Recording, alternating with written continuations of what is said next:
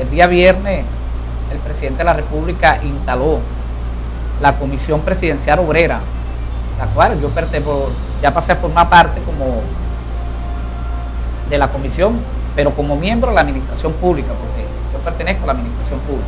Eso fue por varios sectores, eso fue por sectores.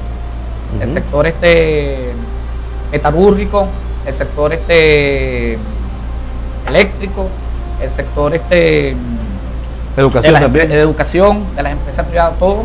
Entonces, salud. Salud, ajá. Sí, todos los sectores. Entonces, todos los sectores. Ya nosotros fuimos, este, nos acreditamos ya como miembros voceros, porque eso, son, eso se llama vocero, vocero de la comisión presidencial, cual ya paso a formar parte ya directamente.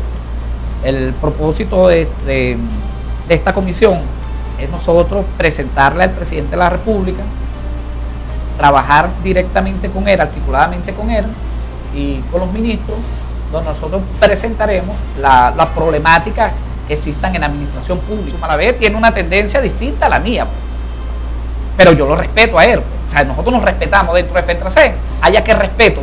O sea, ahí no se ven que si tú eres este copellano o eres adeco, eres. No, nosotros nos respetamos. Ellos me respetan a mí la ideología que yo tengo. Yo soy izquierdista. Yo siempre he sido izquierdista. Entonces, yo los respeto también a ellos. Pero yo no utilizo, yo no meto el izquierdismo en, el, eh, en la parte sindical. No.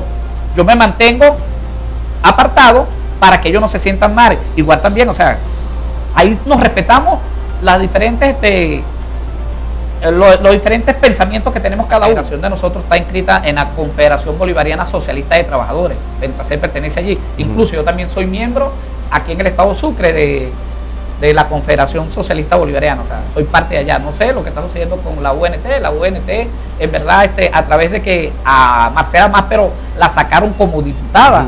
la sacaron como diputada. Ahora, ahora está hablando, no está hablando como dirigente sindical, está hablando también como un otro político más este, porque se siente resentida que le hayan sacado una plancha. Eso es lo que he notado yo de Marcela Más.